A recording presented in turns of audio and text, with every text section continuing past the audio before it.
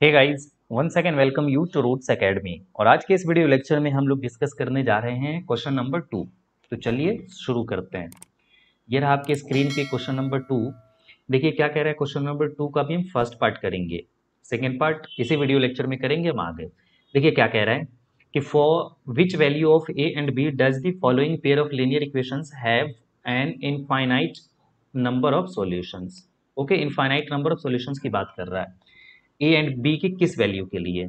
तो देखिए, इसके लिए हमें क्या करना होगा? सॉल्यूशन करते हैं इसका। तो कंडीशन हमें पता होना बहुत ज़रूरी है इसके लिए। यानी इनफाइनाइट नंबर ऑफ़ सॉल्यूशन के लिए कंडीशन क्या होता है? तो वो होता है a one upon a two and equal to b one upon b two and equal to होना चाहिए c one upon c two यानी तीनों एक दूसरे के इक्वल होगा। तो इस केस में क्या होता है? इनफाइनाइट नंबर ऑफ़ सॉल्यूशन होता है। तो ये चीज़ें हमें पहले पता करना पड़ेगा फाइंड आउट यानी a one upon a two निकालना पड़ेगा। तो आइए निकालते हैं यहाँ से राइट तो देखिए, इसको हम कंपेयर कर लेंगे किससे? A one x plus b one y and plus c one equal to zero से। एंड इसको भी कंपेयर करना होगा हमें। A two x plus b two y and plus c two equal to zero से। तो आइए यहाँ से पहले निकालते हैं इन दोनों की ratio a one upon a two तो a one upon a two देखिए फ़र्स्ट इक्वेशन में है ए वन यानी यहाँ जो एक्स की कोफिशियंट है ए वन तो यहाँ क्या है? एक्स की coefficient two upon second equation में देखिए एक्स की कोफिशियंट क्या है? तो यहाँ ए टू है तो यहाँ एक्स की कोफिशियंट क्या है? ए माइनस बी तो यहाँ ले लीजिए ए माइनस बी ये हमने निकाल लिया दूसरा B one upon B two तो B one upon B two equal to क्या हो जाएगा? यहाँ देखिए बी वन होता है वाई की कोफिशियंट तो यहाँ थ्री है हमने थ्री ले लिया एंड यहाँ इस वाले में वाई की कोफिशियंट क्या है? ए प्लस बी तो ए प्लस बी ले लिया राइट एंड अब क्या निकालेंगे? C one upon C two क्योंकि हमें ये कंडीशन अप्लाई करना है तो देखिए तीनों निकालने पड़ेंगे C one upon C two तो C one upon C two निकालेंगे तो देखिए सी वन क्या होता था? कॉन्स्टेंट टर्म राइट तो ये जो कॉन्स्टेंट टर्म है ना इक्वल टू सेवन तो हम सेवन भी रख सकते हैं, या फिर इसको हम आर एच एस में शिफ्ट करके भी रख सकते थे। दोनों तरीके से रख सकते, कोई भी गलत नहीं है, और दोनों वैलिड है। तो ये सेवन एंड अपॉन बस कंडीशन यही होना चाहिए कि अगर ये इक्वल के बाद है तो यहाँ भी इक्वल के बाद ही ये होना चाहिए, ठीक है? तो यहाँ क्या है? Three A plus B and minus two. ये आ गया। अब देखिए, अब हम क्या करेंगे?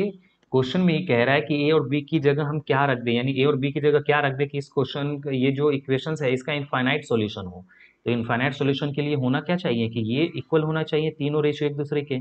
तो अब यहाँ पे हम आ जाएँगे according to question according to question question क्या कह रहा है कि इनफाइनाइट सोल्यूशन होना चाहिए, है ना? इनफाइनाइट सॉल्यूशन होना चाहिए। इसका मतलब कि A one upon A two equal to B one upon B two and equal to क्या होगा? C one upon C two question तो यही कह रहा है इनडायरेक्टली कि इनफाइनाइट सॉल्यूशन इट मीन्स कि ये तीनों इक्वल होना चाहिए। तो बस लगा देते हैं यहाँ पे तीनों को। तो अब देखिए। A one upon A two क्या निकाल चुके हैं हम? Two upon A minus B equal है तो equal B one upon B two three upon three upon A plus B तो ये ले लिया। And equal to C one upon C two ये C one upon C two है ना तो देखिए C one upon C two क्या है? Seven and upon three A plus B minus two ये। अब क्या करेंगे? यहाँ से हम इसको सिंप्लीफाई करेंगे। तो देखो सिंप्लीफाई करने के लिए हम ऐसा करते हैं ना, पहले इसको और इसको ले लेते हैं। यानी कि ये वाली क्वांटिटी और ये ले लेते हैं। फिर ये और ये ले लेंगे। दो इक्वेशन बन जाएगा, फिर दो अननोन दो अननोन दो इक्वेशन हम दोनों को सिंप्लीफाई कर लेंगे फिर। तो आइए, यहाँ पे कर लेते हैं now two upon A minus B equal to three upon A plus B. Okay? तो बस अब यहाँ से क्या करते हैं? क्रॉस मल्टीप्लाई कर दीजिए। तो देखिए, थ्री का मल्टीप्लाई इसमें होगा, है ना? ए माइनस बी में एंड इक्वल टू टू का मल्टीप्लाई किसमें होगा? ए प्लस बी में। जैसे मल्टीप्लाई करेंगे तो ये क्या हो जाएगा? Three A minus three B equal to इसमें मल्टीप्लाई करेंगे तो टू ए प्लस क्या हो जाएगा? ये टू बी इक्वेशन बना लेते हैं, यानी ए बी को इधर की तरफ़ ही शिफ्ट कर लेते हैं तो ये क्या हो जाएगा? Three A minus three B and ये इसकी तरफ़ लेके आ जाते हैं तो minus two A and minus two B तो फाइनल क्या मिल जाएगा इक्वल टू इधर क्या हो जाएगा? ज़ीरो और यहाँ से क्या मिल जाएगा हमें? थ्री ए में से टू ए जाएगा। देखिए, ये थ्री ए है और ये टू ए है। तो क्या मिल जाएगा हमें? A and minus three B minus two B तो क्या मिल गया? Minus five B equal to zero right अब क्या करते हैं? इसको इक्वेशन वन कह देते हैं। अब आते हैं हम इन दोनों को लेते हैं, यानी कि three upon A plus B and seven upon A square इस क्वांटिटी को लेके फिर सिंप्लीफाई करते हैं तो देखते हैं हमें क्या मिल जाता है। चलिए इस वाले, देखिए अब इन दोनों क्वांटिटी को हम इक्वेट कर देते हैं। तो यहाँ पे क्या है ये? Three upon A plus B ये हमने ले लिया equal to seven upon three A plus B minus two right इन तीनों में से ना आप किसी दो को इक्वेट कर सकते हो इसको और इसको इक्वेट कर दिया, फिर इसको और इसको कर सकते हैं, या फिर हम two upon A minus B और सेवन अपॉन इसको भी कर सकते हैं। यानी बस अब आपको दो इक्वेशन किसी भी दो दो को लेकर के ना आपको दो इक्वेशन बना लेने हैं, क्योंकि दो अननोन है। अब क्रॉस मल्टीप्लाई कर दीजिए तो सेवन से मल्टीप्लाई होगा किसमें? ए प्लस बी में, और थ्री से मल्टीप्लाई क्या हो जाएगा? इस वाले में। Three A plus B minus two में। तो फाइनल क्या मिल जाएगा? सेवन से में मल्टीप्लाई करेंगे तो ये मिल जाएगा हमें seven A and plus seven का बी में मल्टीप्लाई करेंगे तो ये मिल जाएगा seven B. Equal to three three ज़ा नाइन ए प्लस थ्री का बी में करेंगे तो three B and minus three two जा सिक्स। अब ए और बी को एक तरफ़ कर लेते हैं तो ये seven A and plus seven B minus nine A and ये minus three B equal to six को इधर ही रखते हैं माइनस सिक्स है तो माइनस सिक्स देखिए seven A minus nine A तो माइनस का टू ए मिल जाएगा ये हमें। माइनस टू ए एंड उसके बाद seven B and minus three B तो ये मिल जाएगा हमें प्लस का फोर बी है ना? क्योंकि सेवन में से थ्री जाएगा फोर साइन बड़े का लगाएँगे प्लस है तो प्लस इक्वल टू क्या आ गया यहाँ पे? माइनस सिक्स अब ऐसा करते हैं ना माइनस टू कॉमन कर लेते हैं, क्योंकि इसमें भी है टू इसमें भी है और इसमें भी है तो माइनस टू कॉमन कर लेते हैं। जैसे माइनस टू कॉमन करेंगे तो ये क्या आ जाएगा? ए और ध्यान रखना माइनस कॉमन करेंगे तो सबकी साइन बदल जाएगी। तो ये माइनस का क्या हो जाएगा? Two B and equal to ये माइनस सिक्स है तो माइनस सिक्स ही रखते हैं इसको अभी। अब माइनस टू इधर मल्टीप्लाई में इधर जाएगा डिवाइड में। तो क्या मिल जाएगा हमें? A minus two B equal to minus six divided by minus two minus से माइनस कैंसिल एंड टू से टू थ्री जा सिक्स तो क्या मिल गया हमें? A minus two B equal to three अब इसको हम कह देते हैं इक्वेशन सेकेंड देखिए, अब यहाँ से हमें मिल गया इक्वेशन फ़र्स्ट एंड ये इक्वेशन सेकेंड अब इन दोनों इक्वेशन को एक जगह लिख करके हम क्या करेंगे? सिंप्लीफाई कर देंगे। तो आइए सिंप्लीफाई करते हैं। नाउ तो इन दोनों इक्वेशन को ना हम नेक्स्ट पेज पे सोल्व करते हैं। तो देखिए, ये दो इक्वेशन था, यही दो इक्वेशन था, इसको हमने मेंशन कर लिया यहाँ पे। अब इसको हमें सिंप्लीफाई करना है। अब देखिए, यहाँ पे हम कोई भी मेथड अप्लाई कर सकते हैं, क्योंकि क्वेश्चन में कोई भी स्पेसिफिक मेथड मेंशन नहीं किया कि आपको इस मेथड से ही सोल्व करना है। तो हमें जो कन्वीनियंस लगेगा मेथड वही अप्लाई कर लेते हैं।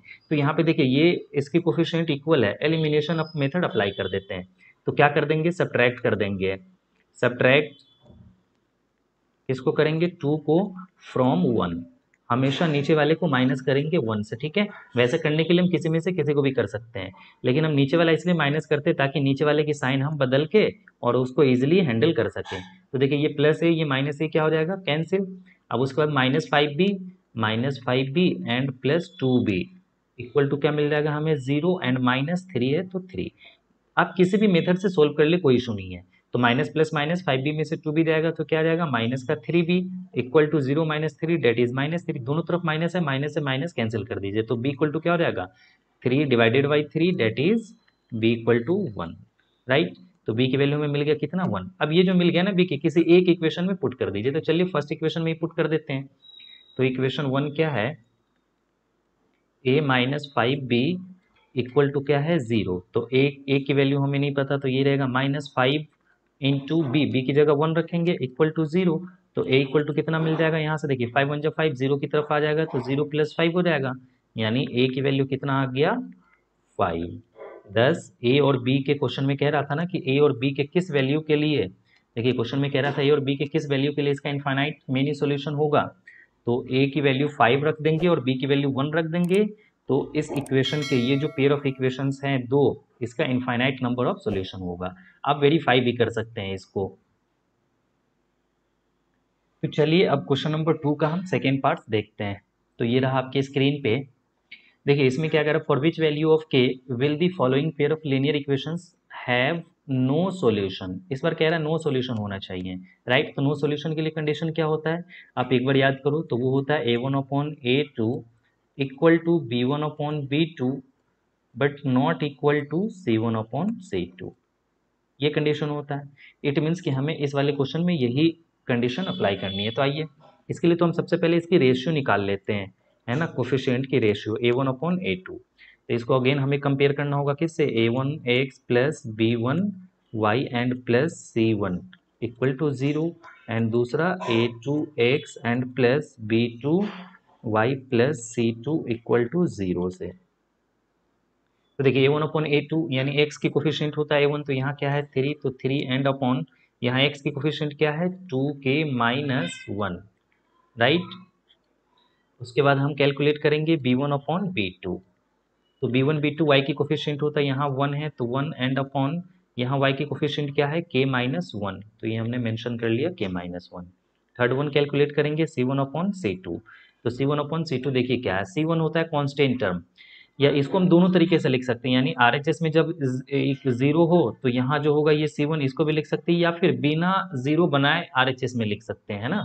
यहाँ देखो आर एच एस में ज़ीरो नहीं है, फिर भी हम इसको वन है तो वन ही लिख देंगे, बिना एल एच एस में शिफ्ट किए हुए। तो ये वन है तो वन और उसके बाद यहाँ क्या है टू के प्लस वन तो ये टू के प्लस वन बस ये हमेशा ध्यान रखना कि अगर यहाँ पे हम इसका ये वाला जो टर्म आर एच एस का ले रहे हैं तो ये भी आर एच एस में ही होना चाहिए, ये एल एच एस में नहीं होना चाहिए।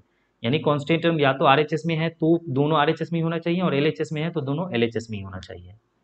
चलिए अब आ जाएँगे according to question according to question question में क्या कह रहा है? नो no सॉल्यूशन होना चाहिए। नो सॉल्यूशन इट मीन्स कि ये कंडीशन अप्लाई होगा।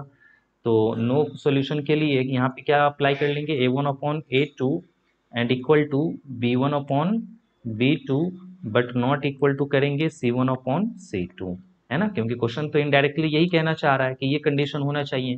तो हमने ये कंडीशन लगा दिया। बस अब इसमें वैल्यू पुट कर देते तो A one upon A two देखिए क्या है? ये है three upon two K minus one equal to है तो equal to B one upon B two one upon K minus one and तीसरा है third one not equal to C one upon C two तो ये हो गया one upon two K plus one right तो अब ऐसा करते हैं ना फ़र्स्ट एंड ये सेकेंड वाले क्वांटिटी को लेके हम एक्स की वैल्यू फाइंड आउट कर लेते हैं। तो ये देखिए थ्री अपॉन क्या है? टू के माइनस वन यहाँ से ऐसा भी मेंशन कर सकते हैं now now three upon two K minus one equal to one upon K minus one cross multiply कर दीजिए तो थ्री से मल्टीप्लाई हो जाएगा के माइनस वन में एंड इक्वल टू वन से मल्टीप्लाई हो जाएगा इसमें टू के माइनस वन है तो यही रह जाएगा। थ्री से मल्टीप्लाई करेंगे तो क्या जाएगा? Three K minus three and equal to two K minus one अब के को एक तरफ़ कर लीजिए नंबर को एक तरफ़। तो ये क्या मिल जाएगा? Three K minus two K and equal to minus one and plus three तो थ्री के में से टू के जाएगा तो यहाँ क्या जाएगा? K equal to minus plus minus यानी डेट इज़ टू तो के इक्वल टू क्या मिल गया हमें? टू तो के की वैल्यू जब हम टू रख देंगे यहाँ पे तो इसके लिए क्या होगा इसका? कोई भी सॉल्यूशन नहीं होगा राइट और इस वाले को लेना ज़रूरी नहीं है, ठीक है ना? वैसे हम ले भी सकते हैं, पर जब एक से ही हमें मिल गया, हमें दूसरे को लेना ज़रूरी नहीं है।